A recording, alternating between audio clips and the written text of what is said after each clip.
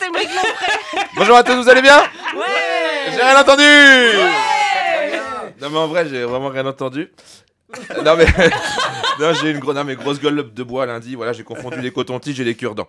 Euh, alors si j'ai un morceau de salade coincé dans les oreilles, vous me le dites très fort dans les dents. hein.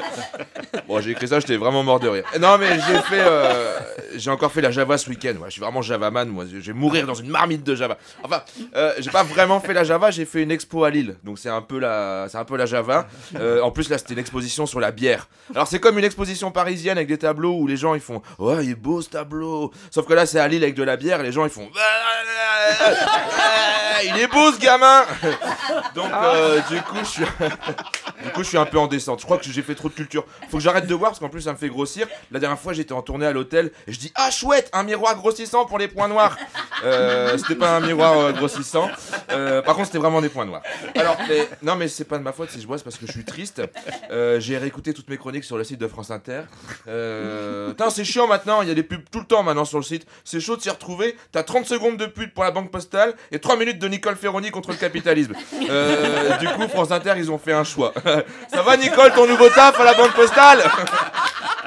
Et non, mais en réécoutant mes chroniques, euh, je me suis rendu compte d'un truc, c'est qu'en fait, ça change pas du tout le monde. Euh, voilà. Alors, soit elles sont nulles, soit France Inter, c'est pas écouté. Mais bon, euh, comme c'est la première radio de France, euh, je ne comprends pas. Alors, moi, je suis venu à France Inter, c'est pour faire bouger les choses. Hein, voilà. Le, et le seul truc qui a changé, c'est que maintenant, je me fais insulter sur les réseaux. La dernière fois, on m'a dit, vous ne valez pas mieux que Guillaume Meurice. J'ai chialé pendant une semaine.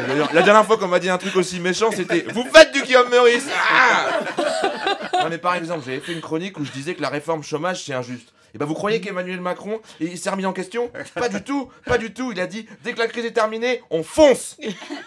Putain, j'irai jamais me baigner avec le gouvernement, moi.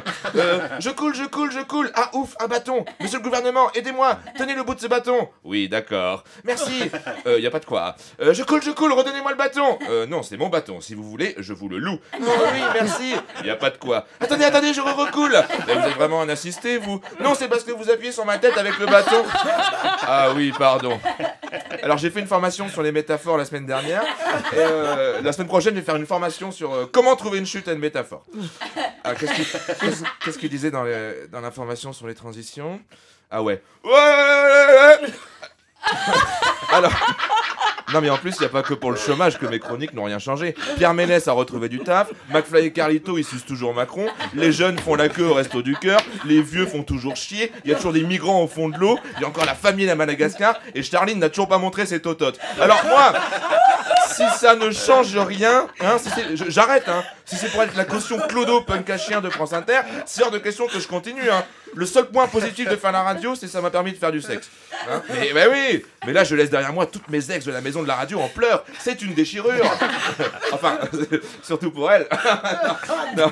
Oh, elles s'en souviendront de leur stage de troisième. non mais aujourd'hui, je. Non mais aujourd'hui, c'est bientôt fini. Aujourd'hui, C'est bientôt fini. je vais faire un test. Je fais un test. Voilà, je tente une chronique et si ça change pas les choses, j'arrête tout. Je veux qu'à partir de maintenant, plus aucun média ne parle d'Éric Zemmour. Merde, j'en ai parlé sur France Inter. Bon bah à partir de maintenant, top. Et la semaine prochaine, on fait un bilan pour savoir si on a parlé d'Éric Zemmour. Merde Allez, top Merci de m'avoir écouté. Émeric Lompré. C'est un résumé de votre œuvre sur cette chaîne, j'ai bien l'impression. Merci. Émeric Lompré.